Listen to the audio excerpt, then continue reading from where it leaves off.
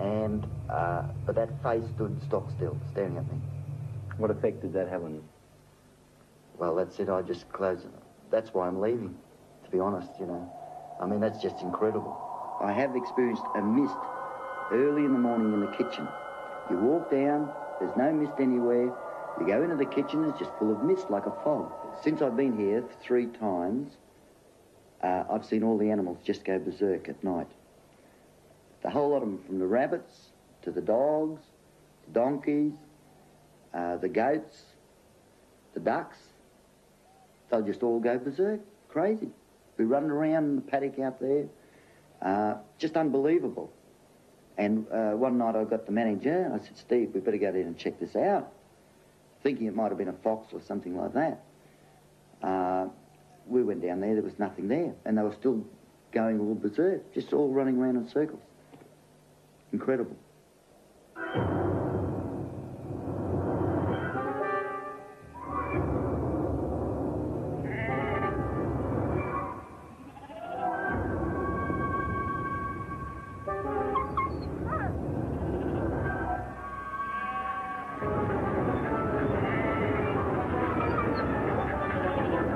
there is some force there. Wha- Whatever it is, I, I couldn't explain it. You know, it's um, it's something that uh, you know really gets to you after a while. You're starting to look over your shoulder when you walk upstairs at night. I hope you're in good spirits after your visit to Clarkfield Hotel. Unfortunately, that was another case in which people got hurt. In haunts like that, two factors seem to be involved. The first is in the building, and in only 13% of cases does exorcism clear that. In another 13%, it makes things worse. The second factor is the personality of the observers, and personality is very difficult to change. So perhaps the most practical thing that you can do is to move out of the haunted building. But our next ghost is much more attractive. In fact, she's my favorite in this series, and I'm sure you'll like her too. She's a sexy young lady in a red bikini who haunts a modern house in Adelaide. As the story develops, ask yourself what meaning she could have for the man who is the one person at a crowded party who could see her. She's a ghost whose symbolic qualities exceed even her considerable ghostly attractions.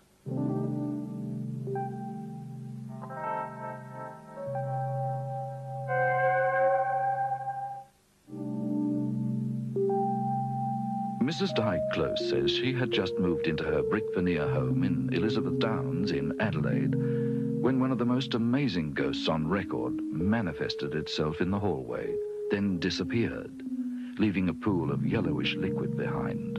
She was small, about five foot two, very attractive, shoulder length brown hair, always wore a bikini. How did she behave? Aggressively to begin with, um, very much so. I woke up one night and uh, I felt that I was being strangled. I could feel this pressure around my throat. Um, there would be, things would get broken in the house. The whole house just seemed one of aggression, depression. Uh, it was just an awful feeling. Di's friends thought she'd gone mad at first. But then one by one, visitors to the house also began to see the ghost, and it made almost daily appearances. It was an experience which gave vehicle welder Brian Hall the shock of his life. Oh, there was a party going on, and my parents were invited, and I was on my own single, so they said, why not come along? Did you know Di Close very well? No, I didn't. My parents did, but I didn't. Did you know about the story of the ghost in the red bikini? No, I'd heard stories of things happening in the house, but not actually a ghost. No. What happened when you went there? Uh, well, I was sitting with my parents and their friends having a drink, and there was a young lady sitting across from me, but on an angle round in the other part of the room, and she was sort of looking at me, giving me the, you know, the nod, uh, you're on your own, I'm on my own.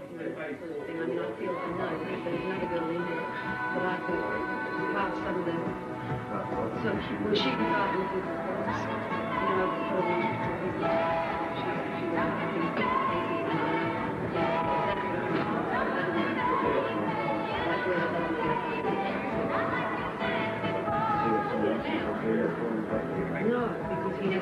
couple of minutes later, I saw her come walking through from a different angle in a bikini and go out the back door to the swimming pool.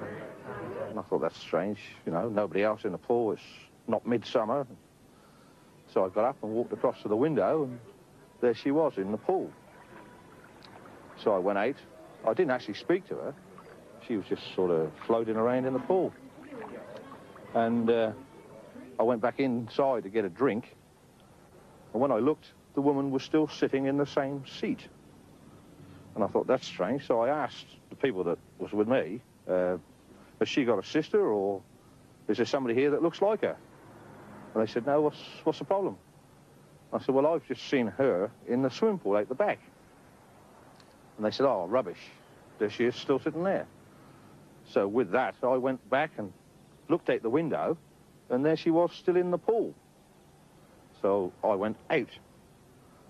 And as I went out the door, she came to the side of the pool and put her arm out to me as if to say, you know, uh, take my hand sort of thing. And I did. I, as I put my hand into her hand, that was it. She just vanished and left me standing there freezing sort of cold and she was gone. Did you feel anything as you put a hand, your hand Nothing. through? Nothing. Did you tell people about it afterwards? Well, there was another friend came out and he was standing behind me. And when I turned round, he just looked at me and said, you, you've seen something. And I was standing sort of like this and he grabbed hold of my hand. Said, it's frozen. Uh, you, you've seen something come inside. I'll get you another drink. And that's what we did do. And then the story came out that supposedly there was a ghost of some young girl in that house. What effect did this have on you in the weeks that followed? Uh, very much like I am now, I suppose. I, I get very nervous uh, talking about it, and it gives me an horrible itch, you know, a, a real uncomfortable feeling. Scientists talk about the possibility of collective hallucinations, um, of telepathic projections. Mm. And of course, a lot of people talk about ghosts. Are you convinced that this actually was a ghost? Yes, because um, yeah, you know, I, I know what they say about this uh, collective um, hallucinations. It couldn't possibly have been because there were so many different days, different times, different people. You didn't have to have a crowd. You, you, there could be just one or two people there, and it'd be all odd times. So it was just too too obvious to to try and explain it away. There, there was a ghost there.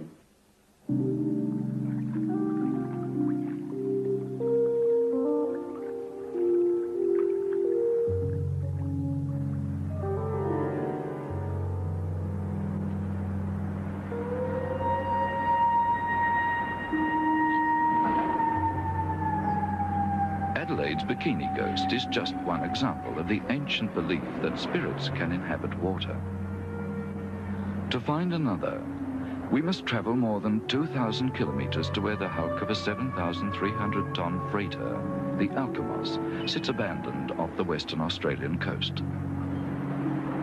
The old steamer is trapped on rocks and sand just offshore, with the wind singing eerily in her rigging and waves lapping at gaping rents in her side. When the tide is high, she shifts restlessly, as if yearning to head out to sea, and local cray fishermen always give her a wide berth. With the superstition common to all seagoing folk, they believe the Alkimos is cursed. Many of them testify to having seen a dark figure in oilskins, a ghost they call Henry, stalking the deck at night.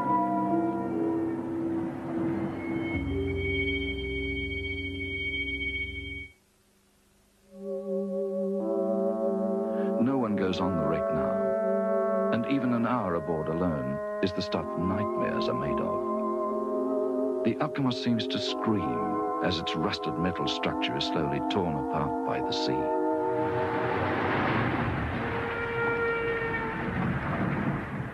Many people believe the Alkimos was a cursed ship even before the ghost appeared. The old wreck has an almost incredible history of ill fortune. She was launched in America in 1943, but no company kept her long before selling her off, and her name was changed several times, which is an old seafaring recipe for bad. Repairs after constant collisions, breakdowns and groundings had given her an extra 153 millimetres in length by the time she reached Australia. And the Alkimos still seemed bent on her own destruction. She ran aground 250 kilometres north of Perth and later caught fire in the dock.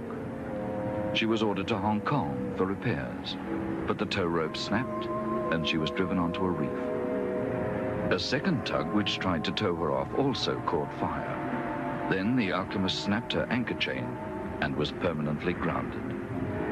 Since then, she has caught fire six times, and every attempt to salvage her has met with accident, injury, or death.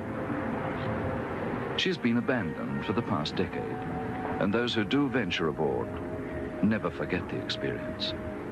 One such witness is Ray Krakauer, an Anzac veteran who's now a local justice of the peace. I was asked to uh, uh, do a bit of looking after it uh, and do a bit of salvage. Um, I spent weeks on it, days on it. I heard uh, talking many times, many, many times. You hear this guttural uh, talking. Now, the wireless cabin was um, sealed up uh, with a lock on the door. I heard the Morse key uh, sending out a message. Did it, did it, da da did da da. You're saying uh, things go on. Uh, and here's a here's a locked room with a no one in the room and the Morse key, a hand a hand uh, Morse key, working itself with no power. While working in the number three hatch, removing some degaussing apparatus, out of the darkness, an apparition appeared, uh, almost like a fluorescent light. Uh, it was the shape of a, a, a person.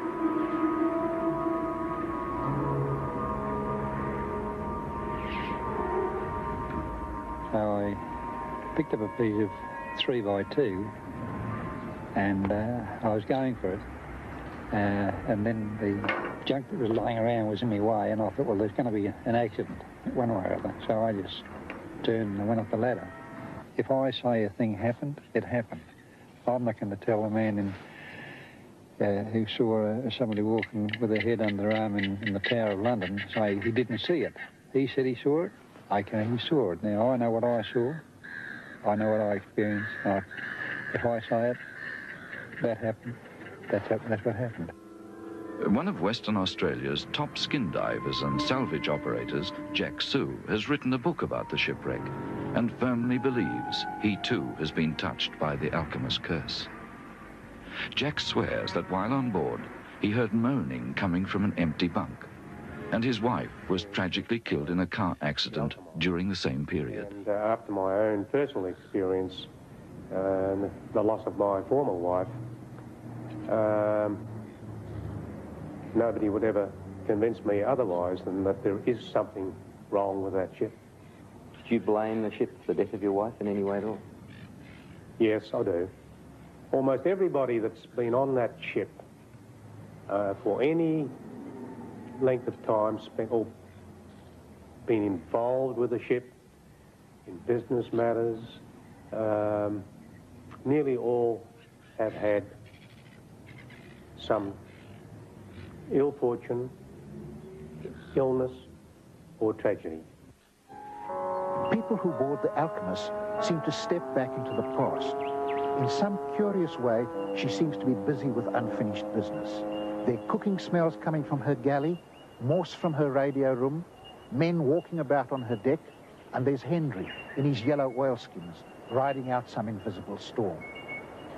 What a pity that there was nobody there who could understand Morse. Now we'll never know what the content of that message was or the date of the transmission. Alkimos poses us with the problem of deciding when ordinary bad luck turns into something more sinister. To the people trying to dismantle her, Alkimos seems to be fighting back stubbornly, injuring and harming those people that are trying to destroy her. But perhaps we better leave her to become a legend similar to the Flying Dutchman and instead move from shipwrecks to ship relics housed in a building with a very interesting history. It's hard to imagine a building with a more brutal and tragic past than Fremantle Museum. It was built in the 1860s to house convict men and women who had gone insane after suffering the cruelties of the British penal system. It was called Fremantle Lunatic Asylum, and before the installation of padded cells, prisoners were chained and doused with cold water if they became uncontrollable. The building has had a haunted reputation for as long as people can remember, and according to staff in the old limestone museum, no less than four ghosts now roam its rambling corridors. Visitors to the museum have also had strange experiences. One witness is producer and director Jerry Atkinson, who wrote a play about a ghost and staged it in the museum quadrangle at night. The leading lady, a girl called Judy, was in period costume. And at intermission, he followed her into the building to discuss the next scene. And I noticed her going up the steps to the dressing room because the dressing room was upstairs. And uh, I followed her, calling out, Judy, I'd like to talk to you about a, a change in, a, in one of the moves. But I didn't get an answer. I noticed her just walking up the steps. There she was in this old gown. And um, I kept on calling, and she didn't answer. And then she went into the dressing room. I saw her go into the dressing room. The door closed. Well, first of all, that was against the rules, because I had a rule in that particular production. That door was not to be shut, because we had children in the cast. And then I thought perhaps she was a little bit uh, upset, as happens in plays. So I knocked on the door and found it was locked and called out. Called out. Um, no answer. I was getting a bit annoyed about this, really. And then all of a sudden, I heard a voice. I turned, and there was the real Judy behind me, coming up the stairs after, after I'd been up to uh, knock on the door. Well, we opened the door, and when we went in, there wasn't a soul there. And Was there any other way out? No, no, there are only windows, and there's a sheer drop. It's the first story. Did you check the room to see if anyone Yes, was yes, hiding yes, we did. We looked right round. We couldn't find a soul. Over the years, several staff members have testified to seeing the ghost of a woman which carries a lamp and moans softly as it wanders the museum galleries at night. The ghost seems to be endlessly searching for something, and they believe the apparition is that of a convict woman who went mad with grief after her young daughter was abducted more than a century ago. Records show the woman eventually committed suicide by jumping from the first floor window of what is now the Investigator Gallery.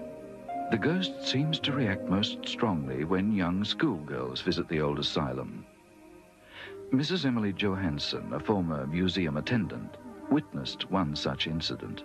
At a building with that type of cruelty and sadness, there must be some waves left behind. And that's what I always did feel.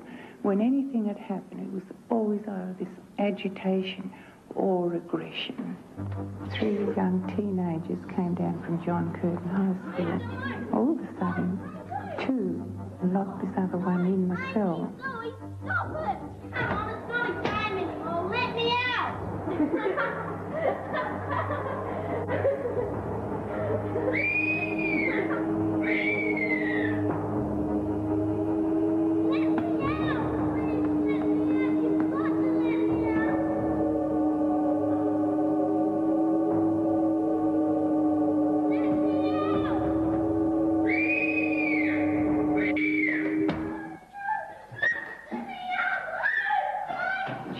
shrugged me off and shot off like a scared rabbit.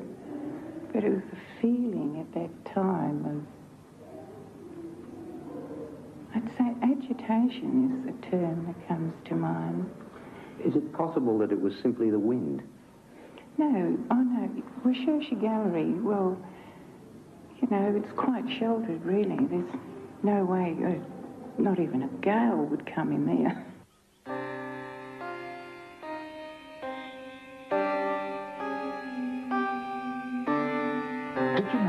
that Fremantle Museum had the apparition of a living person, the leading lady at the play? We now know that such apparitions occur when people have out-of-the-body experiences, so that if we could somehow find a way of inducing those out-of-the-body experiences, we could perhaps produce apparitions to order. One way is to put the person in a sensory isolation tank. They are floated in warm water in complete silence and darkness.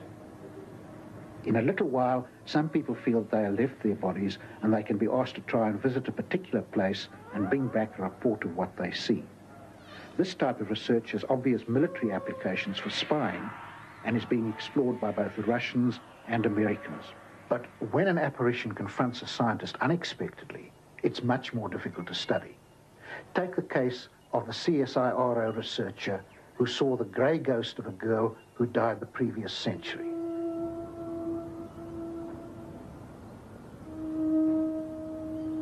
152-year-old mansion, Stowell House, is Tasmania's headquarters for Australia's scientific research organisation, the CSIRO.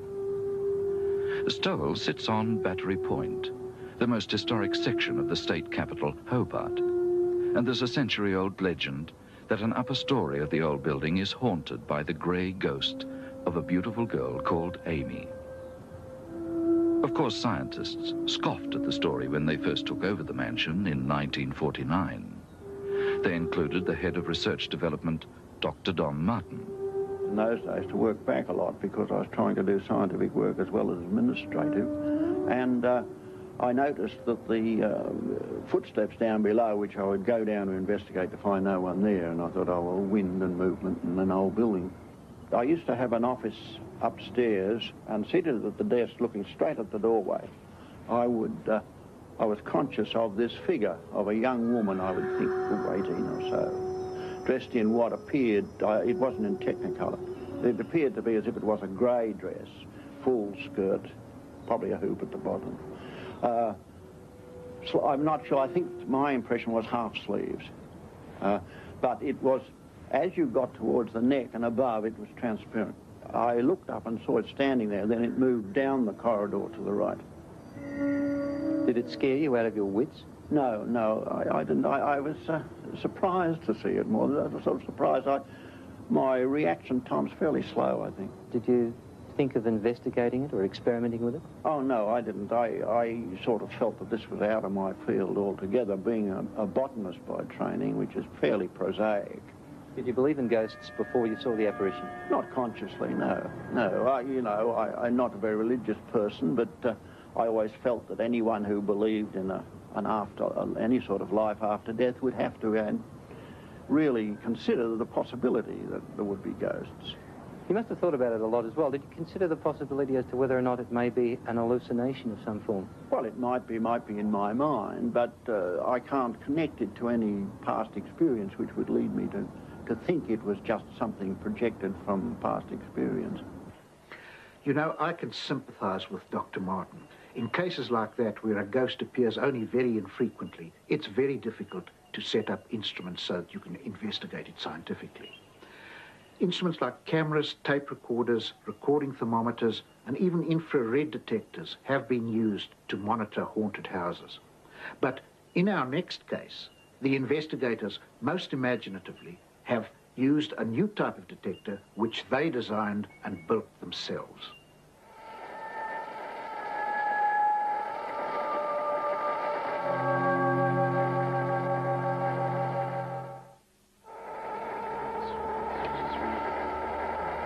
Stephen Franklin is a 16-year-old Melbourne student whose interest in ghosts began with the film Ghostbusters.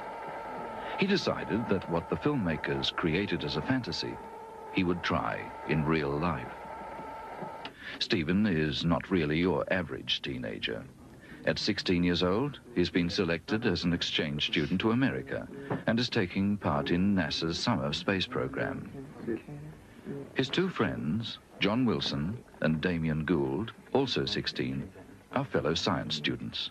I got my basic inspiration from the movie Ghostbusters, and uh, I approached John after that and so you know asked him whether he could build me equipment that was you know they had on the movie. First of all, I thought he was nuts, but uh, well, then I got, became interested after he told me what he wanted to do, so I had a go of it, and we kind of had several attempts and built our way up. This here's a the transmitter, and it's just like your ordinary um, FM uh, radio and uh, transmitter, except it works on a much uh, more obscure frequency. And uh, this is our receiver, Now, that receives um, the transmissions from here. Now, what happens is if any electrical uh, fields or, um, or disturbances between the two is monitored at the receiver, and we can get a visual output of it here at the uh, oscilloscope, which virtually just tells us what the signal looks like. So put simply, it's a ghost detector. Yeah. or we hope it is. The trio advertised themselves as ready and willing to remove troublesome ghosts from haunted premises. And to their surprise, a woman offered them $500 to rid her restaurant of a poltergeist. They refused the money, but took up the offer and spent a nervous night in the Black Rose restaurant, which is housed in a Victorian terrace in the Melbourne suburb of St Kilda. What did you find? We're not too sure. Overall, um, well, we think there's possibly something there. What makes you think that? Just the readings we picked up with our equipment. When we returned to the Black Rose restaurant, it was closed down. The woman who asked Stephen and his friends to get rid of the poltergeist had fled the business, leaving no forwarding address. The previous owners said they had no problems with ghosts when running the Black Rose. But when we tracked down the owners before them, it was a different story. Ernst Patzold operated the restaurant in 1978. concern was one night we were sitting in the Black Rose restaurant, it's an alcove area. We were sitting there and uh, we heard sort of uh, somebody walk down the stairs because it was old wooden stairs. And um, I got up and I looked and there was nothing there. And um, so that was pretty spooky in, in a way. Did you see anything else happen there? Uh, yes, one day I was sitting as well at the same in the same area, and I heard uh, something falling outside, and I got up and I looked in the restaurant, and there was actually a sugar bowl, which um, the waitress claims she must have put in the center, but I don't know if I have to believe her, but it was all sprayed all over the floor. What was the most dramatic thing that happened? Well, the dramatic thing actually happened to my partner Brian when uh, he was doing the book upstairs in the office. Uh, that um, he was sitting and there was a glass standing just on its own, it didn't, and all of a sudden it just shattered into not thousand, virtually a million of pieces. It was incredible, and all fine little small particles. Would you be willing to go back to the restaurant, uh, all of you, and see if there is anything there with your equipment? Yeah, yeah, yeah we'd love to. Yeah. Not scared to do that? No. It's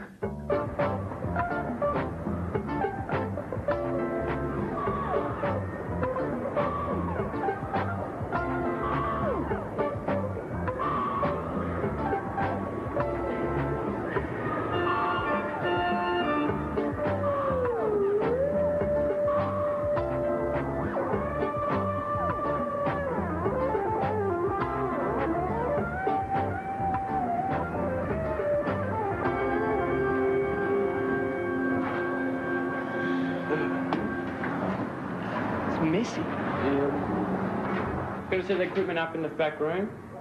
No. Why not? Back where we had it last time.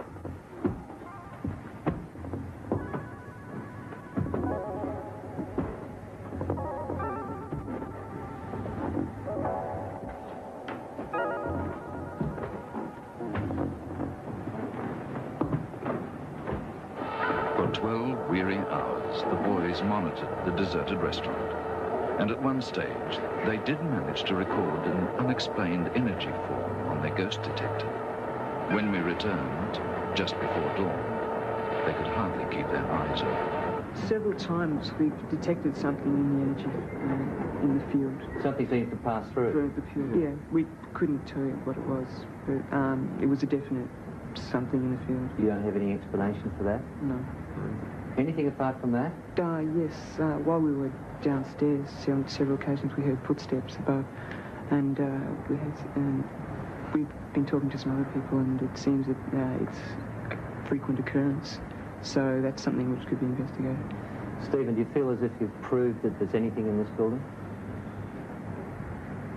Certainly had a go at it. We've tried. I'd like some more proof. Stephen, do you believe there's something here? Yeah, I'd, I'd say so. Why do you believe that? Uh, I don't know, I've got a hunch better, I suppose. And Damien, the official skeptic, do you believe there's anything here? No, nothing. Only it just proves how hard these sort of things are to prove. No one has ever provided unchallengeable proof that ghosts do exist.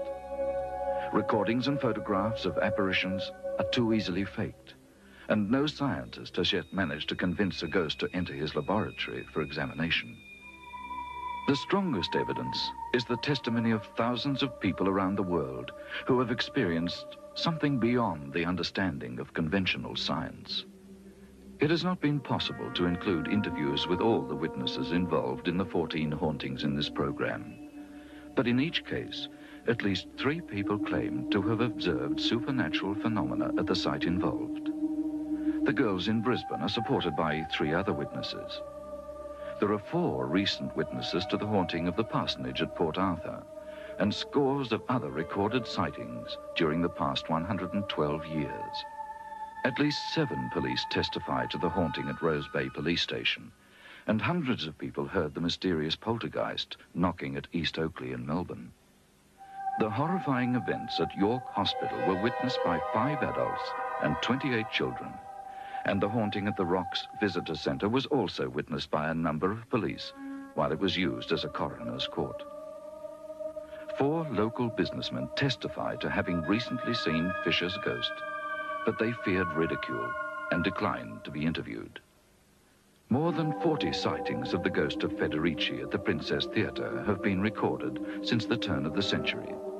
And a similar number of people claim to have had ghostly experiences at Clarkefield Hotel over the same period. Twelve rather amazed people claim to have seen Adelaide's curvaceous bikini ghost. And there are dozens more who claim to have seen the shipwreck ghost of Henry or suffered the curse of the Alkimos.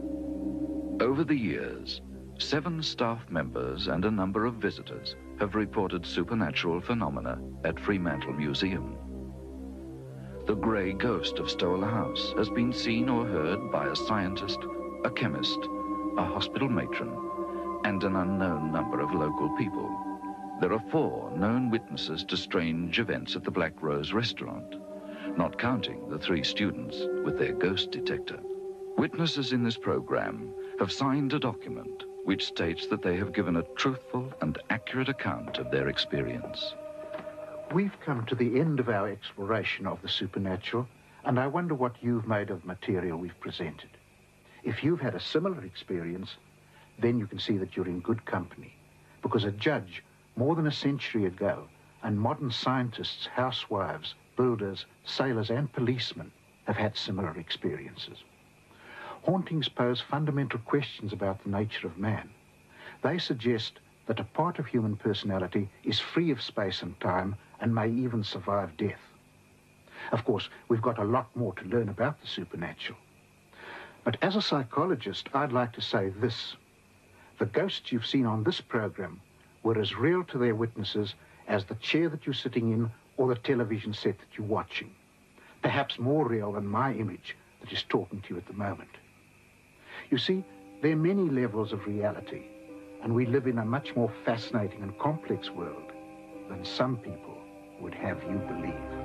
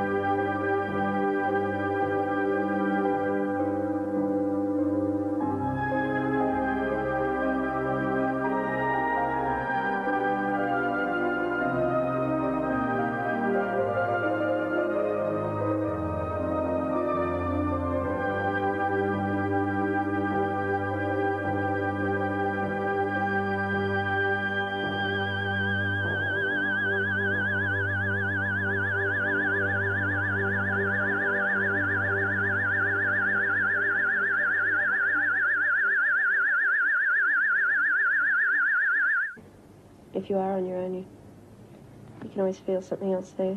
We've heard footsteps in the house, and as well, a couple of times I've felt like I've had hands on my chest here and through my hair. Um, Is that why you've been in bed? yeah, Were you half asleep and half awake while that was happening? no, I was wide awake just as I jumped into bed. It happened. Over the last, say, two months, it sort of stepped up, and now I do feel it. I sort of a bit scared going to sleep in that. So far, we've heard only furtive suggestions that the house may be haunted. A build-up of fear, which could make people imagine footsteps or something brushing against them at night. It was the third girl, Helen McLennan, who was the first to actually see a ghost. One night I was just lying in bed and I just, just woke up. Like I didn't hear anything, I just woke up. And I just looked from my bed to my wardrobe and saw a shape there, like a, a white figure. And I sort of, you know, shut my eyes and thought this is really silly and opened them again and thought it could be a street light, wasn't, checked that out. Could be the next door neighbour's light, wasn't, checked that out. And I thought, well, there's something there. One night I woke up for some reason. I'd been asleep for a little while, and I've got a missing louver in my room, and I was staring out of that. An unexplained energy form on their ghost detector. When we returned, just before dawn, they could hardly keep their eyes open. Several times we've detected something in the energy uh, in the field. Something seems to pass through. Through the field. Yeah, we couldn't tell you what it was, but um, it was a definite something in the field. You don't have any explanation for that? No. Anything apart from that? Uh, yes, uh, while we were downstairs, on several occasions we heard footsteps above, and uh, we had, um, we've been talking to some other people, and it seems that uh, it's a frequent occurrence. So that's something which could be investigated. Stephen, do you feel as if you've proved that there's anything in this building? Certainly had a go at it. We've tried. I'd like some more proof. Stephen, do you believe there's something here? Yeah, I'd, I'd say so. Why do you believe that? That's don't know, I've got a hunch about it, I suppose. And Damien, the official skeptic, do you believe there's anything here? No, nothing. Only it just proves how hard these sort of things are to prove. No one has ever provided unchallengeable proof that ghosts do exist. Recordings and photographs of apparitions are too easily faked, and no scientist has yet managed to convince a ghost to enter his laboratory for examination. The strongest evidence is the testimony of thousands of people around the world. There is some force there. Wha- Whatever it is, I, I couldn't explain it, you know. It's, um, it's something that, uh, you know, really gets to you after a while. You're starting to look over your shoulder when you walk upstairs at night. I hope you're in good spirits after your visit to Clarkefield Hotel. Unfortunately, that was another case in which people got hurt. In haunts like that, two factors seem to be involved. The first is in the building, and in only 13% of cases does exorcism clear that. In another 13%, it makes things worse. The second factor is the personality of the observers, and personality is very difficult to change. So perhaps the most practical thing that you can do is to move out of the haunted building. But our next ghost is much more attractive. In fact, she's my favorite in this series, and I'm sure you'll like her too. She's a sexy young lady in a red bikini who haunts a modern house in Adelaide. As the story develops, ask yourself what meaning she could have for the man who is the one person at a crowded party who could see her. She's a ghost whose symbolic qualities exceed even her considerable ghostly attractions.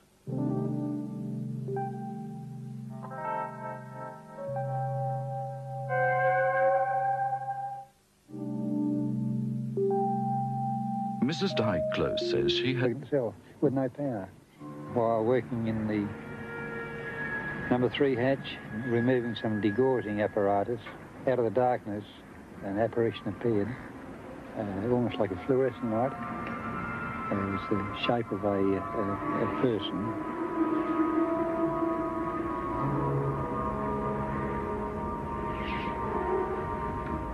So I picked up a piece of three by two and uh, I was going for it. Uh, and then the junk that was lying around was in my way, and I thought, well, there's going to be an accident one way or other. So I just turned and went up the ladder. If I say a thing happened, it happened. I'm not going to tell a man in uh, who saw uh, somebody walking with their head under their arm in, in the Tower of London say he didn't see it. He said he saw it. Okay, he saw it. Now I know what I saw. I know what I experienced. I, if I say it, that happened. That's, that's what happened. One of Western Australia's top skin divers and salvage operators, Jack Sue, has written a book about the shipwreck and firmly believes he too has been touched by the Alkimos' curse. Jack swears that while on board, he heard moaning coming from an empty bunk, and his wife was tragically killed in a car accident during the same period. And uh, after my own personal experience, uh, the loss of my former wife. There was nothing there. And um, so that was pretty spooky in, in, a way. Did you see anything else happen there?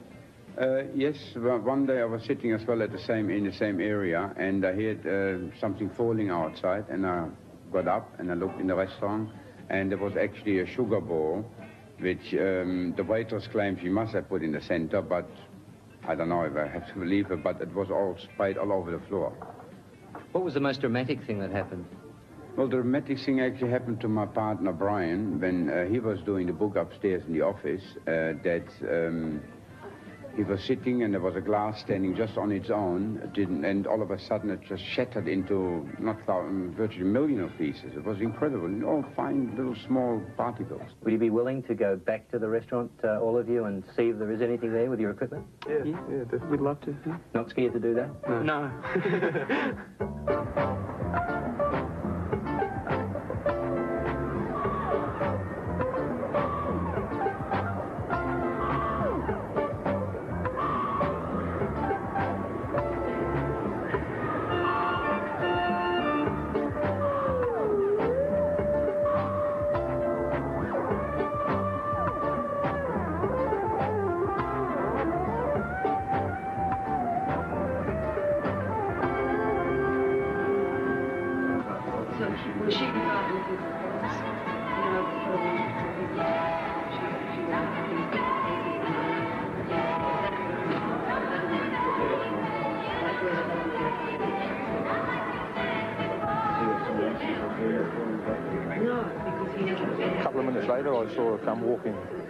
different angle in a bikini and go out the back door to the swimming pool. And I thought, that's strange, you know, nobody else in the pool, it's not midsummer. So I got up and walked across to the window and there she was in the pool. So I went out. I didn't actually speak to her. She was just sort of floating around in the pool. And uh, I went back inside to get a drink. And when I looked, the woman was still sitting in the same seat. And I thought, that's strange. So I asked the people that was with me, uh, has she got a sister or is there somebody here that looks like her? And they said, no, what's, what's the problem? I said, well, I've just seen her in the swimming pool out the back. And they said, oh, rubbish. There she is still sitting there. So with that, I went back and looked out the window, and there she was still in the pool. So I went out and as I went out the door, she came to the side of the pool and put her arm out to me as if to say, you know, uh, take my hand sort of thing. And I did. I, as I... One example is former licensee Frank Nelson, who scoffed at the idea of ghosts when he took over the hotel in March 1984. So how long were you in the hotel before anything happened? Uh, three days. Three days we were there. And, uh... What happened? Well, we'd been working, uh, you know, trying to meet a few customers, only the wife and I there, you know, no staff on, and uh, we'd worked, you know, three till one o'clock in the morning and uh, went upstairs and hopped into bed. And I suppose it was about two o'clock I heard, the, you know, bottles rattling and glasses being moved, and I thought, oh, well, some of the locals. You know, you've just taken the hotel over, and a lot of country pubs, the locals walk in and out when they feel like it. So I went to uh, go down to investigate. And got about halfway down the stairs and heard a bit more noise, and I thought, sounds like more than one. I think I better grab something. I felt a real cold draft of wind, like you know, walking into an air conditioner. It just sort of blew me back a bit. Something like someone picked me up and tried to throw me over the banister. With both hands on the banister, it just seemed to disappear.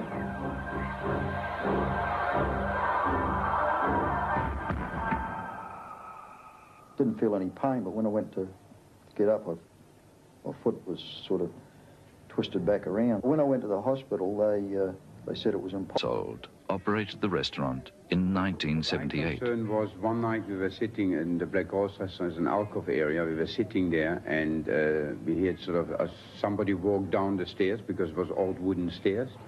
And um, I got up and I looked and there was nothing there.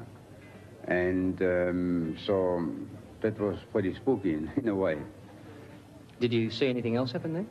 Uh, yes, well, one day I was sitting as well at the same in the same area, and I heard uh, something falling outside, and I got up and I looked in the restaurant, and there was actually a sugar bowl, which um, the waitress claims she must have put in the center, but I don't know if I have to believe her, but it was all sprayed all over the floor.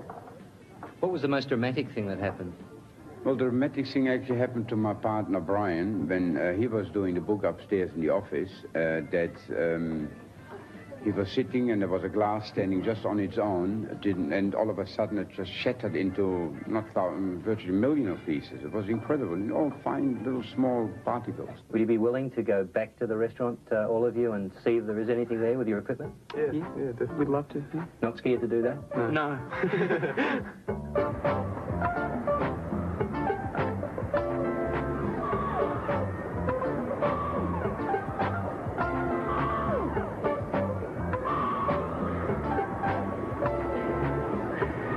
gets to you after a while. You're starting to look over your shoulder when you walk upstairs at night. I hope you're in good spirits after your visit to Clarkefield Hotel.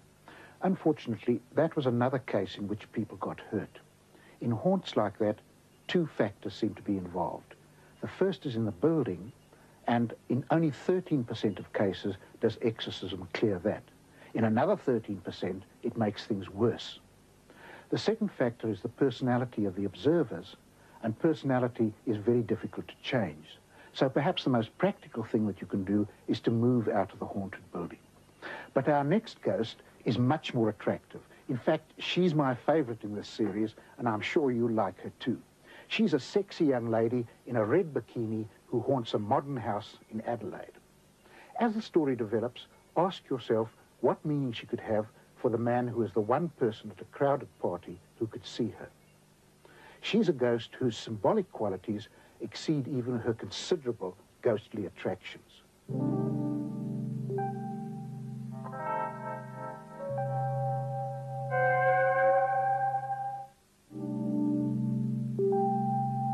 Mrs. Dyke Close says she had just moved into her brick veneer home in Elizabeth Downs in Adelaide when one of the most amazing ghosts on record manifested itself in the hall. And um, we got midway along the dormitory and our torches went out. We had this howling wind coming down from the chimney, and with 47 degrees outside, there was no way that there could have been any wind.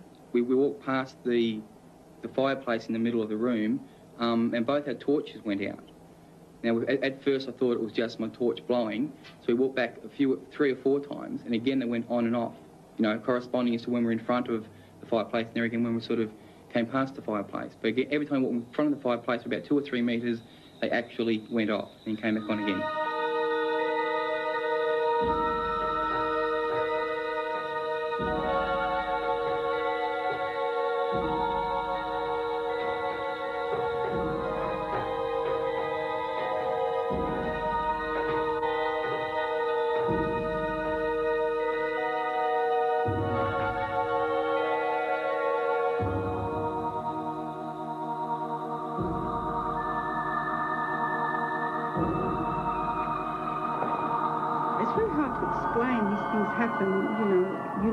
Torch has gone out, and you know the other person's torch has gone out. We just we sort of looked at the torches to see if there was anything wrong with them. As I say, they came back on their own accord. was, a, it was a foul smell which came from a small attic which was up the top. Glowing human shape whose appearance spells good luck for any forthcoming production. And Federici has appeared to scores of people over the past century. As a matter of fact, it was right here. I was sitting where I am standing now, and my back was towards the house, and Malcolm Phillips, who was directing the play, unfortunately Malcolm's now dead, but he was looking out into the theatre, and he said, there he is, the poor old bastard, and I said, who? And he said, Fred, Fred, he's out there in the circle. So I really had to build myself up to it. It wasn't not my favourite moment at that moment of time. And I turned around, and there he was, up there in the circle. And the theatre had gone cold. And I became conscious of the smell like old lavender. Um, you know that type of smell if you go into an elderly lady's home and you get open linen drawers and you get that, that strange lavender type smell. But what we saw was a shape of white light like that with a diffused grey light around it. All I can say is that's what happened to me right here on this stage and whatever it was was up there. We've just seen two non-threatening but very different ghosts. Federici at the Princess Theatre seems to linger on for no apparent purpose. Fisher's ghost suggests two possibilities. The first is that his spirit survived death and came back to give information about the murder.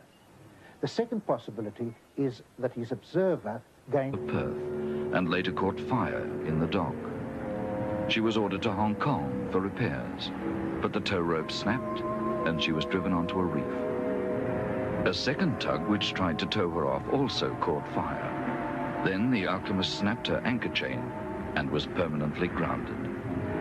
Since then, she has caught fire six times, and every attempt to salvage her has met with accident, injury, or death.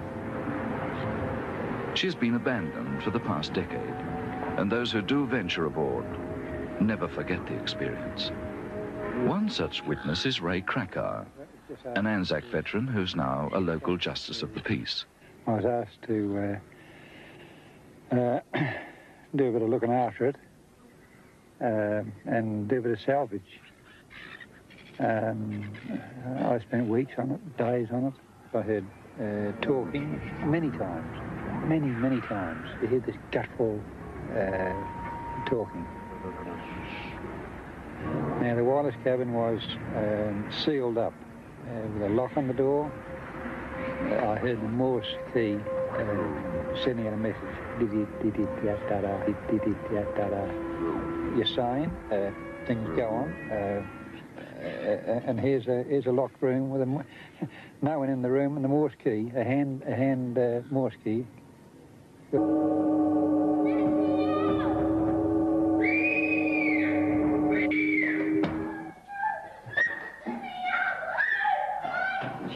Shrugged me off and shot off like a scared rabbit. But it was the feeling at that time of, I'd say agitation is the term that comes to mind. Is it possible that it was simply the wind? No, oh no, Recherche Gallery, well, you know, it's quite sheltered really. There's no way, uh, not even a gale would come in there.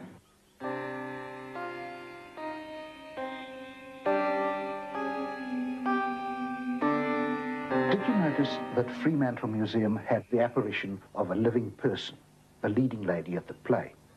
We now know that such apparitions occur when people have out-of-the-body experiences, so that if we could somehow find a way of inducing those out-of-the-body experiences, we could perhaps produce apparitions to order. One way is to put the person in a sensory isolation tank. They are floated in warm water in complete silence and darkness. In a little while, some people feel that they are left their bodies and they can be asked to try and visit a particular place and bring back a report of what they see. This type of research has obvious military applications for spying and is being explored by both the Russians... Not my favourite moment at that moment of time. And I turned around and there he was up there in the circle. And the theatre had gone cold. And I became conscious of the smell like old lavender. Um, you know that type of smell if you go into an elderly lady's home and you get open linen drawers and you get that, that strange lavender type smell. But what we saw was a shape of white light like that with a diffused grey light around it. All I can say is that's what happened to me right here on this stage, and whatever it was was up there. We've just seen two non-threatening but very different ghosts. Federici at the Princess Theatre seems to linger on for no apparent purpose. Fisher's ghost suggests two possibilities. The first is that his spirit survived death and came back to give information about the murder. The second possibility is that his observer gained telepathic information from the murderer's mind and dramatized this up into a projected apparition. But our next ghost is quite different. In fact, it may not be a ghost at all. It's a kind of force which brings out the violence in people, and it exists in Clarkefield Hotel, which has the reputation of being the most haunted building in Australia.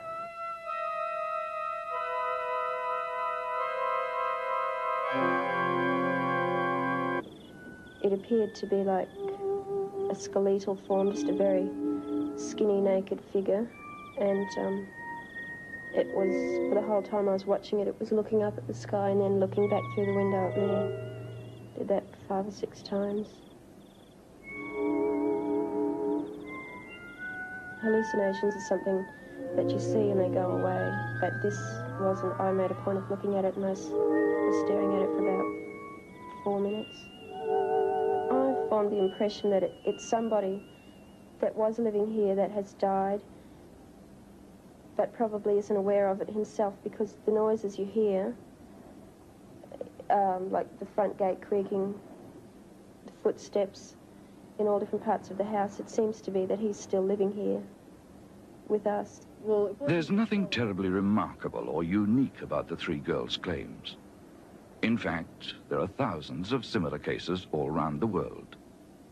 Most people dismiss such stories, especially those involving young women living alone, as imagination, triggered by branches blowing in the wind, shadows, creaking floorboards, and a fear of the unknown. Yet there are reasons to believe that Maria did actually see something crouching in the tree outside her bedroom window, saw it clearly, watched it move, and experienced real Hallucinations are something that you see and they go away, but this wasn't. I made a point of looking at it and I was staring at it for about four minutes. I formed the impression that it, it's somebody that was living here that has died, but probably isn't aware of it himself because the noises you hear, um, like the front gate creaking, the footsteps in all different parts of the house, it seems to be that he's still living here with us. Well, There's nothing terribly remarkable or unique about the three girls' claims. In fact, there are thousands of similar cases all around the world. Most people dismiss such stories, especially those involving young women living alone, as imagination, triggered by branches blowing in the wind, shadows, creaking floorboards, and a fear of the unknown. Yet there are reasons to believe that Maria did actually see something crouching in the tree outside her bedroom window, saw it clearly, watched it move, and experienced real terror. She has described it in precise detail and has nothing to gain and everything to lose by lying about it. Like all the witnesses in this program, she received no payment, yet was willing to risk being ridiculed for telling her story on television. The real question is, What a pity that there was nobody there who could understand Morse. Now we'll never know what the content of that message was or the date of the transmission. Alkimos poses us with a problem of deciding when ordinary bad luck turns into something more sinister. To the people trying to dismantle her, Alkimos seems to be fighting back stubbornly, injuring and harming those people that are trying to destroy her. But perhaps we better leave her to become a legend similar to the Flying Dutchman and instead move from shipwrecks to ship relics housed in a building with a very interesting history. It's hard to imagine a building with a more brutal and tragic past than Fremantle Museum. It was built in the 1860s to house convict men and women who had gone insane after suffering the cruelties of the British penal system. It was called Fremantle Lunatic Asylum, and before the installation of padded cells, prisoners were chained and doused with cold water if they became uncontrollable. The building has had a haunted reputation for as long as people can remember, and according to staff in the old limestone museum, no less than four ghosts now roam its rambling corridors. Visitors to the museum have also had strange experiences. One witness is producer and director haunted the same site for at least 112 years. An architect, an archaeologist, and an historical botanist employed by the restoration project also claim to have had strange experiences at Port Arthur. A ghost was first recorded here by a visitor from Hobart, George Grunsell, who stayed in the parsonage as a guest in 1874. Grunsell wrote about it in his memoirs. The judge, Sir Valentine Fleming, was a fellow guest at the parsonage when a most intense light streamed from under the door of a room on the opposite side of the landing. Sir Valentine peeked through the keyhole and, to his astonishment, could see the interior as though brilliantly lighted up with gas. When lo and behold, all was in sudden darkness again. The next manifestation was rather startling. A servant girl entering the guest room let out a terrific shriek and fell senseless to the boards. She had distinctly seen the figure of a man in a peculiar garment looking at her through the window and grasping in his hand a knife or dagger which he held as though about to strike.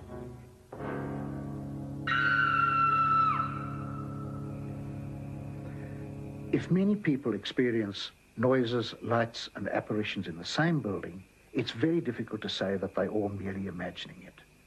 In fact, A veteran who's now a local justice of the peace. I was asked to uh, uh, do a bit of looking after it uh, and do a bit of salvage. Um, I spent weeks on it, days on it. I heard uh, talking many times, many, many times. You hear this guttural uh, talking. Now, the wireless cabin was um, sealed up uh, with a lock on the door. Uh, I heard the Morse key uh, sending out a message. Did it, did it, da da da, did it, da da da. You're saying uh, things go on. Uh, uh, and here's a here's a locked room with a no one in the room and the Morse key, a hand a hand uh, Morse key, working itself with no power. While working in the number three hatch, removing some degaussing apparatus, out of the darkness, an apparition appeared, uh, almost like a fluorescent light. Uh, it was the shape of a, a, a person.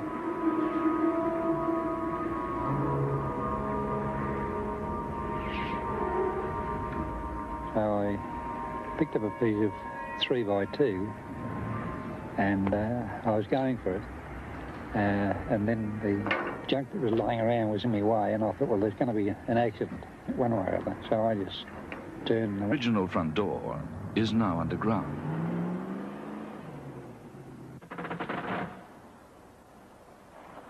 The bottom story has been sealed up for years like a time capsule and still has the gas fittings of a bygone era.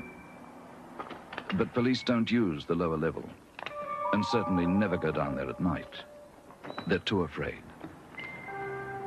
Sergeant Dennis Stevenson and his colleagues have never seen a ghost, but they're convinced they hear one. Some junior constables are so afraid they refuse to work alone in the building at night. And one of the policewomen wears a string of garlic around her neck to ward off evil spirits. You have the presence, or you feel the presence of someone standing right next to you, ready to touch you on the shoulder.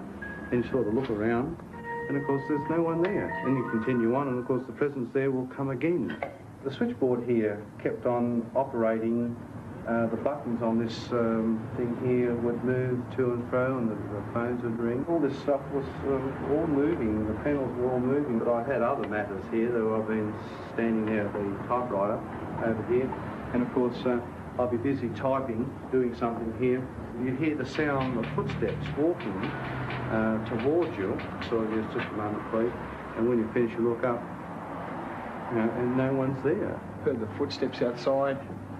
It's like a feeling of We've just seen two non-threatening but very different ghosts. Federici at the Princess Theatre seems to linger on for no apparent purpose. Fisher's ghost suggests two possibilities. The first is that his spirit survived death and came back to give information about the murder. The second possibility is that his observer gained telepathic information from the murderer's mind and dramatized this up into a projected apparition. But our next ghost is quite different. In fact, it may not be a ghost at all. It's a kind of force which brings out the violence in people. And it exists in Clarkefield Hotel, which has the reputation of being the most haunted building in Australia.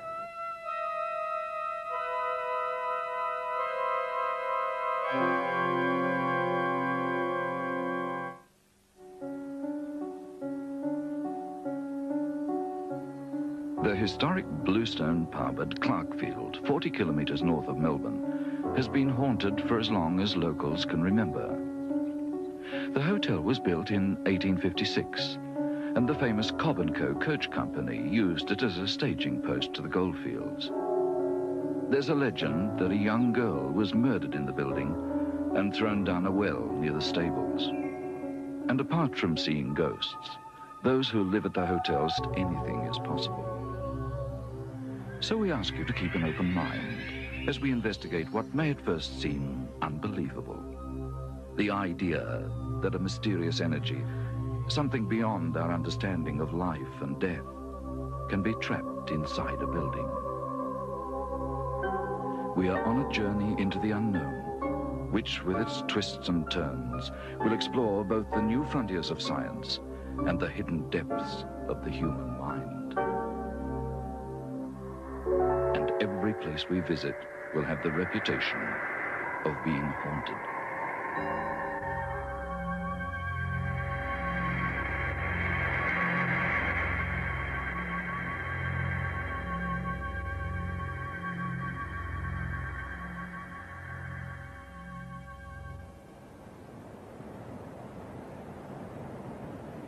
People throughout history have experienced ghosts, and every country in the world has its haunted houses.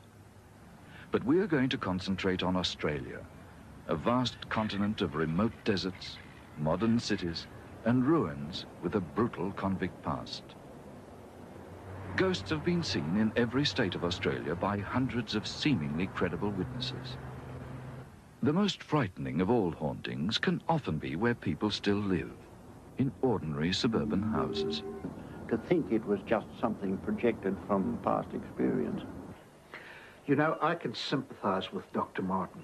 In cases like that, where a ghost appears only very infrequently, it's very difficult to set up instruments so that you can investigate it scientifically. Instruments like cameras, tape recorders, recording thermometers, and even infrared detectors have been used to monitor haunted houses.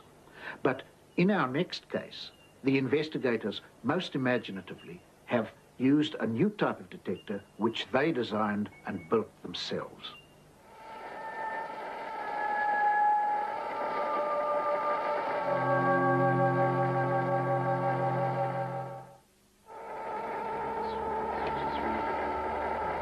Stephen Franklin is a 16-year-old Melbourne student whose interest in ghosts began with the film Ghostbusters.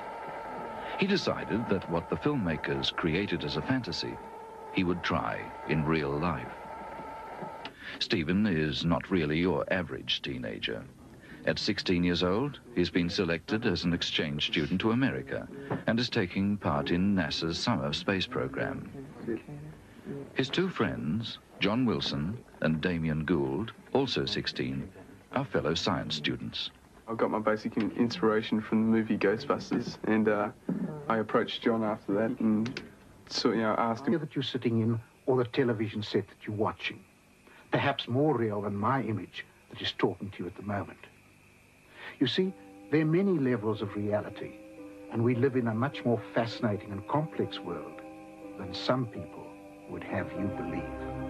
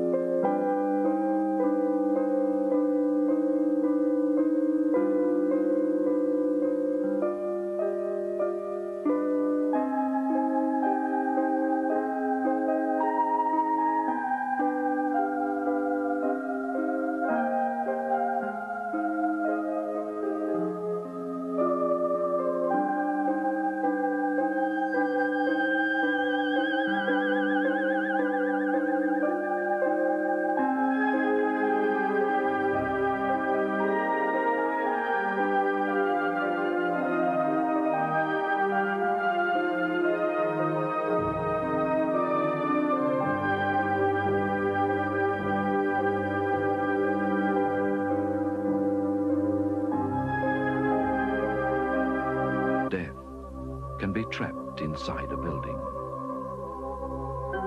We are on a journey into the unknown, which, with its twists and turns, will explore both the new frontiers of science and the hidden depths of the human mind. And every place we visit will have the reputation of being haunted.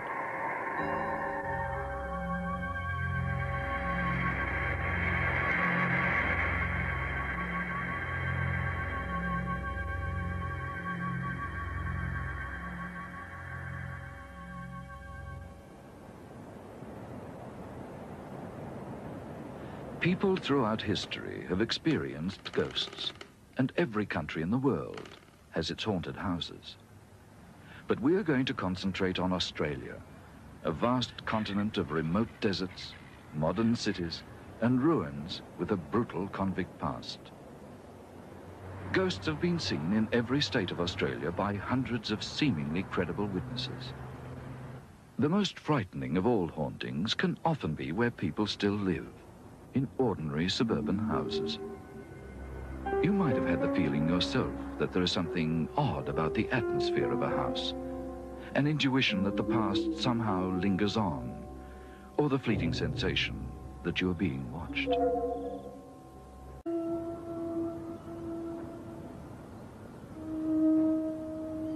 The 152-year-old mansion, Stowell House, is Tasmania's headquarters for Australia's scientific research organisation, the CSIRO. Stowell sits on Battery Point, the most historic section of the state capital, Hobart. And there's a century-old legend that an upper story of the old building is haunted by the grey ghost of a beautiful girl called Amy. Of course, scientists scoffed at the story when they first took over the mansion in 1949. They included the head of research development, Dr. Don Martin. In those days, to work back a lot because I was trying to do scientific work as well as administrative. And uh, I noticed that the uh, footsteps down below, which I would go down to investigate to find no one there, and I thought, oh, well, wind and movement in an old building.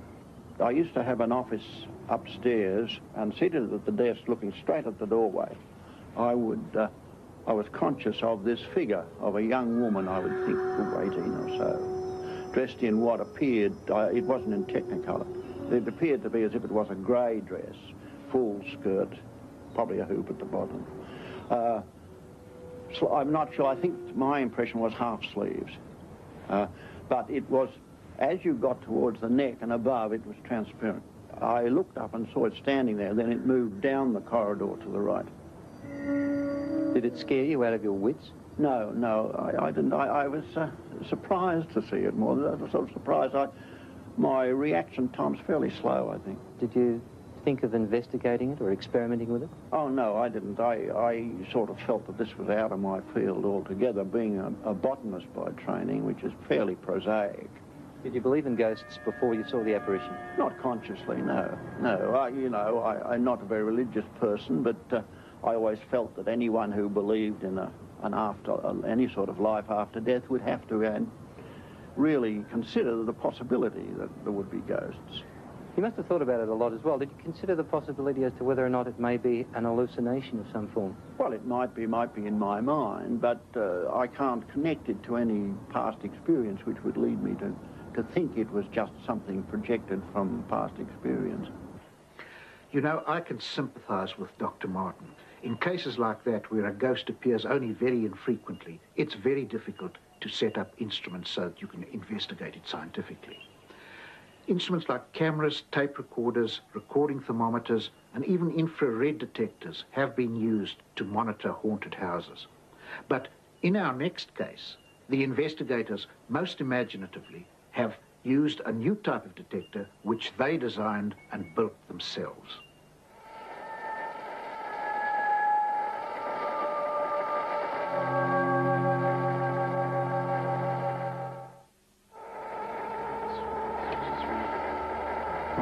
Stephen Franklin is a 16-year-old Melbourne student whose interest in ghosts began with the film Ghostbusters. He decided that what the filmmakers created as a fantasy, he would try in real life. Stephen is not really your average teenager. At 16 years old, he's been selected as an exchange student to America and is taking part in NASA's summer space program. His two friends, John Wilson and Damien Gould, also 16, are fellow science students. I got my basic inspiration from the movie Ghostbusters, and uh, I approached John after that and so, you know, asked him whether he could build me equipment that was, you know, they had on the movie. First of all, I thought he was nuts, but uh, well, then I got became interested after he told me what he wanted to do, so I had a go of it, and we kind of had several attempts and built our way up. This is a transmitter, and it's just like your ordinary um, FM uh, radio and uh, transmitter, except it works on a much uh, more obscure frequency. And uh, this is our receiver.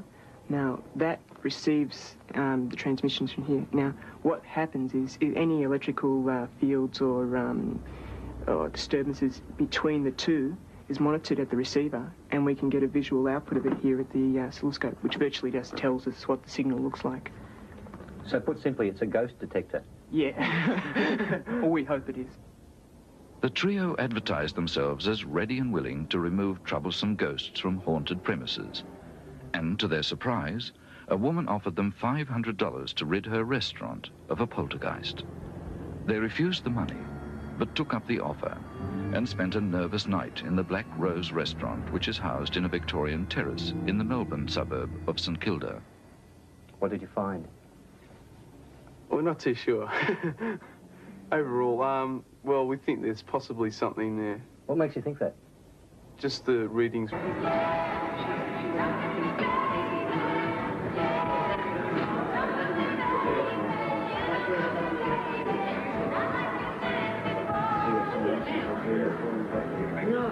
A couple of minutes later, I saw her come walking through from a different angle in a bikini and go out the back door to the swimming pool.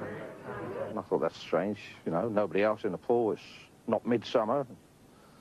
So I got up and walked across to the window, and there she was in the pool. So I went out.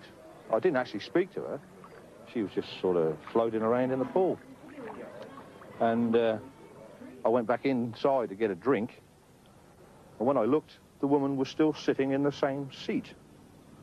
And I thought, that's strange. So I asked the people that was with me, uh, has she got a sister or is there somebody here that looks like her?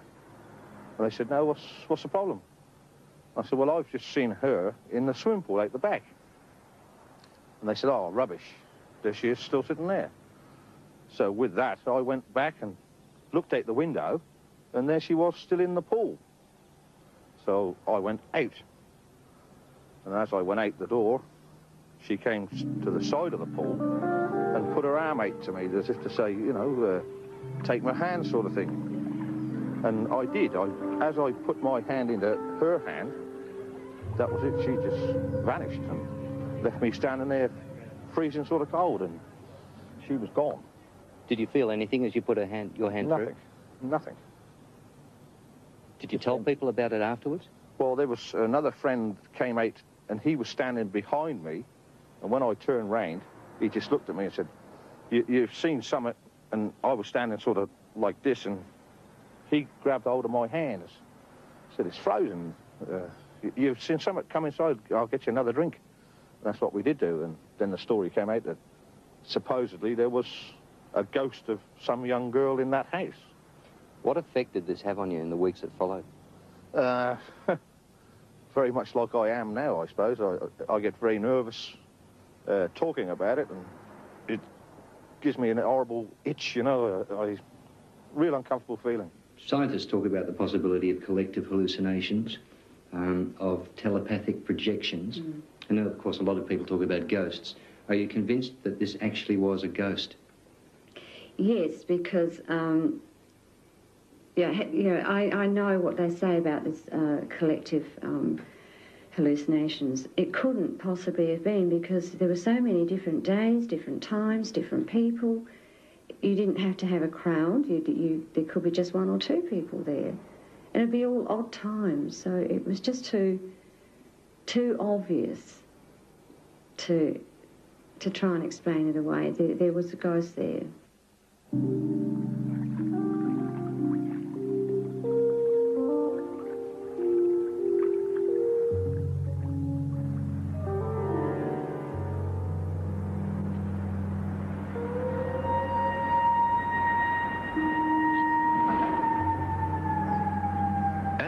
Bikini ghost is just one example of the ancient belief that spirits can inhabit water.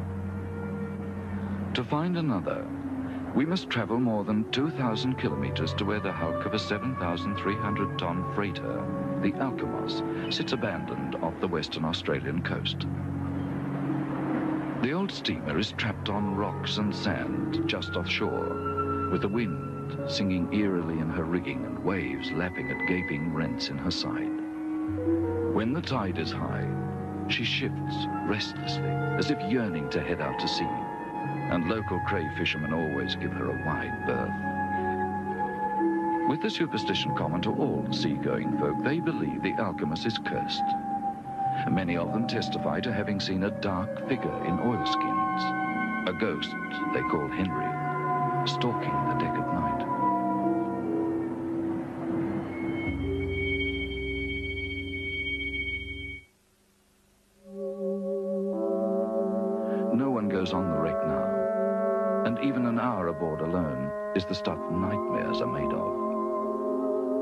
The seems to scream as its rusted metal structure is slowly torn apart by the sea.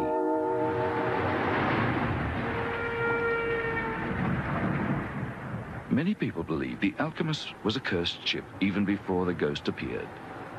The old wreck has an almost incredible history of ill fortune. She was launched in America in 1943, but no company kept her long before selling her off, and her name was changed several times, which is an old seafaring recipe for bad. Repairs after constant collision or the installation of padded cells. Prisoners were chained and doused with cold water if they became uncontrollable. The building has had a haunted reputation for as long as people can remember, and according to staff in the old limestone museum, no less than four ghosts now roam its rambling corridors. Visitors to the museum have also had strange experiences. One witness is producer and director Jerry Atkinson, who wrote a play about a ghost and staged it in the museum quadrangle at night. The leading lady, a girl called Judy, was in period costume. And at intermission, he followed her into the building to discuss the next scene. And I noticed her going up the steps to the dressing room because the dressing room was upstairs. And uh, I followed her, calling out, Judy, I'd like to talk to you about a, a change in, a, in one of the moves. But I didn't get an answer. I noticed her just walking up the steps. There she was in this old gown. And um, I kept on calling and she didn't answer. And then she went into the dressing room. I saw her go into the dressing room. The door closed. Well, first of all, that was against the rules because I had a rule in that particular production. That door was not to be shut because we had children in the cast. And then I thought perhaps she was a little bit uh, upset, as happens in plays. So I knocked on the door and found it was locked and called out. Called out. Um, no answer. I was getting a bit annoyed about this, really. And then all of a sudden, I heard a voice. I turned, and there was the real Judy behind me, coming up the stairs after, after I'd been up to uh, knock on the door. Well, we opened the door, and when we went in, there wasn't a soul there. And Was there any other way out? No, no, there are only windows, and there's a sheer drop. It's the first story. Did you check the room to see if anyone yes, was yes, hiding there? Yes, we did. We looked right round. We couldn't find a soul.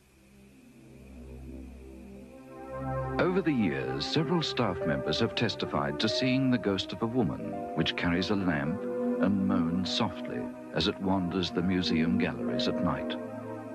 The ghost seems to be endlessly searching for something, and they believe the apparition is that of a convict woman who went mad with grief after her young daughter was abducted more than a century ago. Records show the woman eventually committed suicide by jumping from the first floor window of what is now the Investigator Gallery. The ghost seems to react most strongly when young schoolgirls visit the old asylum. Mrs. Emily Johansson, a former museum attendant, witnessed one such incident. At a building with that type of cruelty and sadness, there must be some waves left behind. And that's what I always did feel. When anything had happened, it was always either this agitation or aggression. Three young teenagers came down from John Curtin High School. All of a sudden, two locked this other one in the cell. Stop it! Mom, it's not a game anymore. Let me out!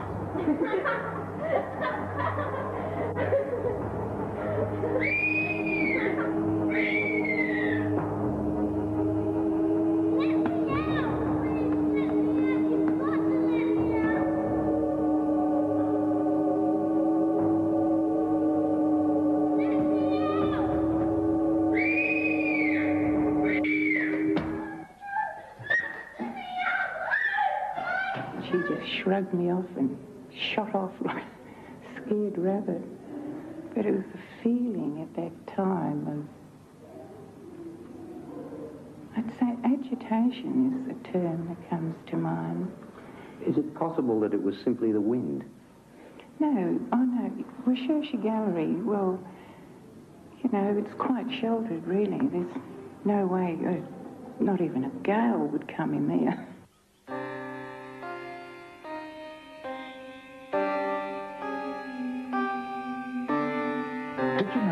That Fremantle Museum had the apparition of a living person, the leading lady at the play?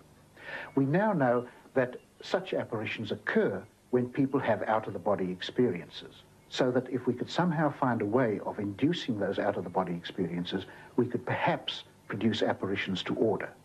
One way is to put the person in a sensory isolation tank. They are floated in warm water in complete silence and darkness. In a little while, some people feel they have left their bodies and they can be asked to try and visit a particular place and bring back a report of what they see.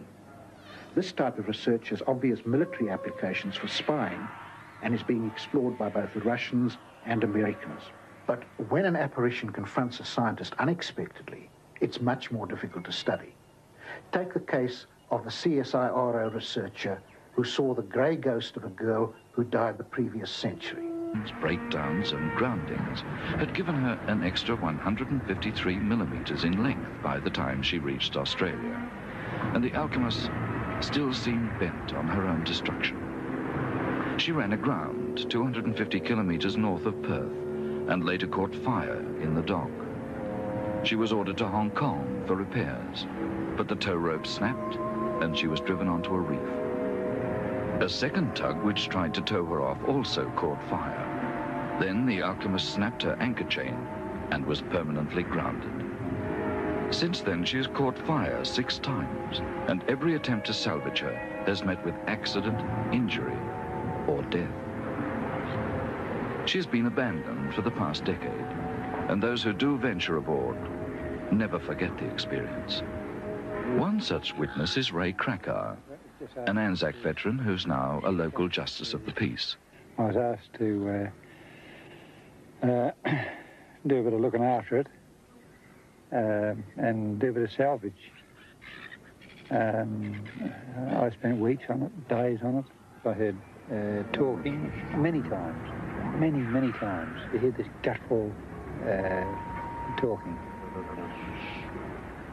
Now, the wireless cabin was um, sealed up uh, with a lock on the door. Uh, I heard the Morse key uh, sending out a message. Did-it-did-it-da-da-da, did-it-da-da-da. You're saying uh, things go on. Uh, uh, and here's a here's a locked room with a no one in the room and the Morse key, a hand a hand uh, Morse key, working itself with no power. While working in the number three hatch, removing some degaussing apparatus, out of the darkness, an apparition appeared, uh, almost like a fluorescent light. Uh, it was the shape of a, a, a person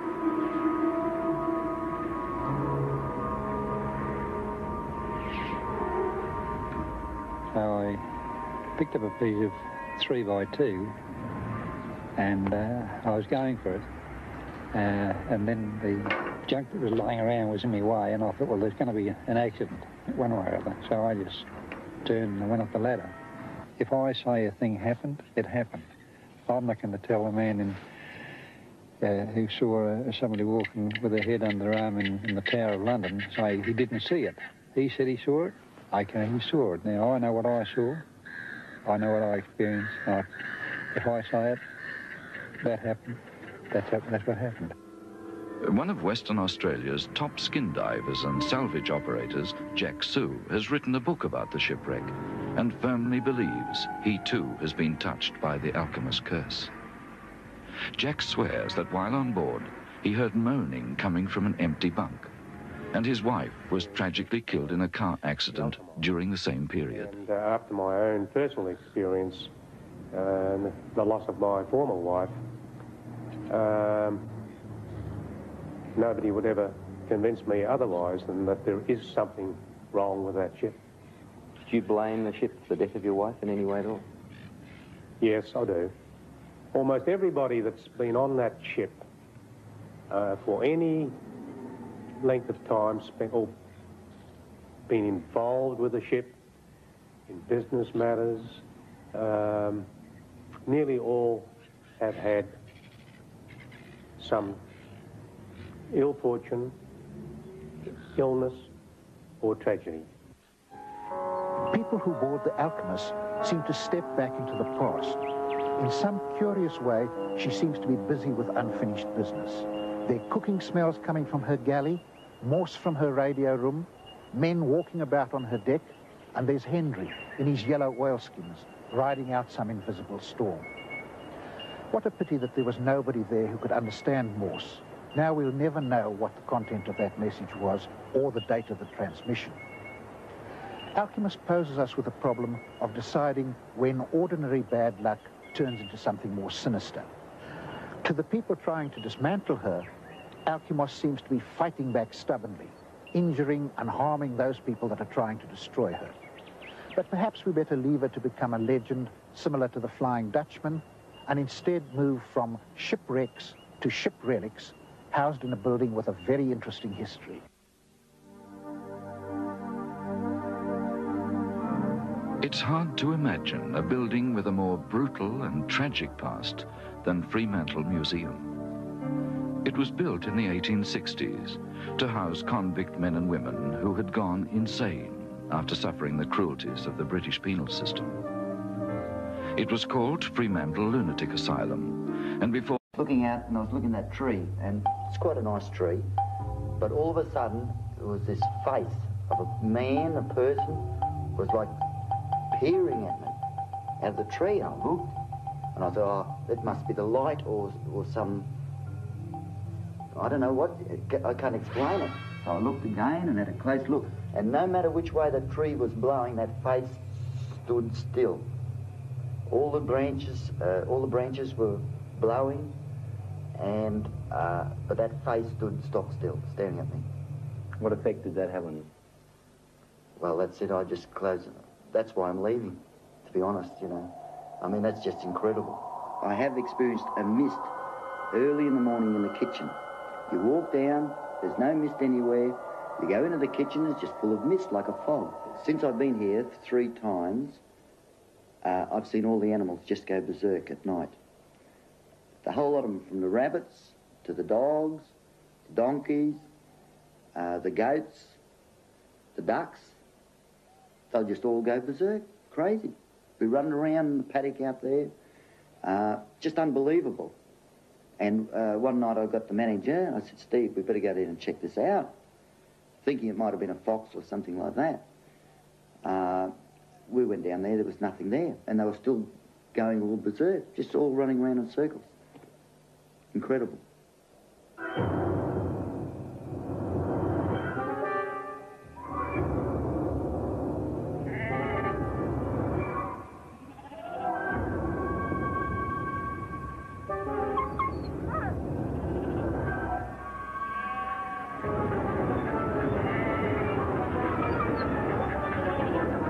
there is some force there. Whatever it is, I, I couldn't explain it. You know, it's um, it's something that uh, you know really gets to you after a while. You're starting to look over your shoulder when you walk upstairs at night. I hope you're in good spirits after your visit to Clarkefield Hotel. Unfortunately, that was another case in which people got hurt. In haunts like that, two factors seem to be involved. The first is in the building, and in only 13% of cases does exorcism clear that. In another 13%, it makes things worse. The second factor is the personality of the observers, and personality is very difficult to change. So perhaps the most practical thing that you can do is to move out of the haunted building. But our next ghost is much more attractive. In fact, she's my favourite in this series, and I'm sure you'll like her too. She's a sexy young lady in a red bikini who haunts a modern house in Adelaide. As the story develops, ask yourself what meaning she could have for the man who is the one person at a crowded party who could see her. She's a ghost whose symbolic qualities exceed even her considerable ghostly attractions.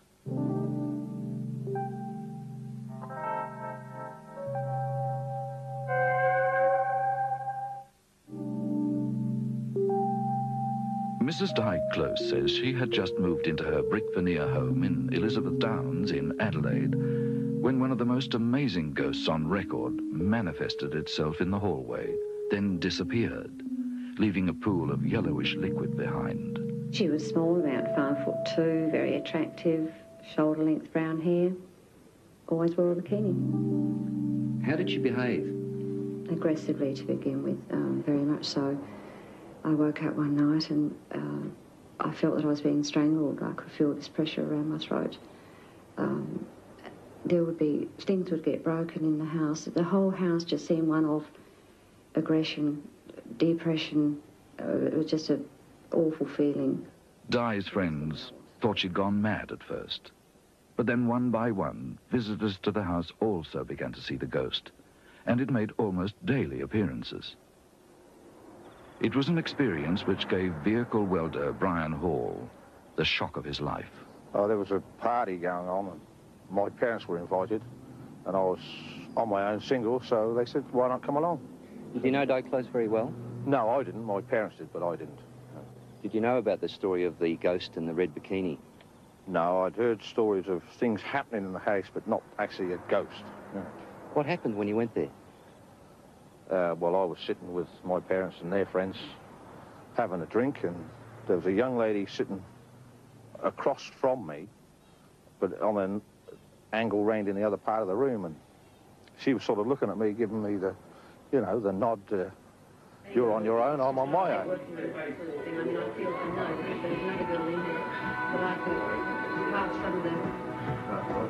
Was she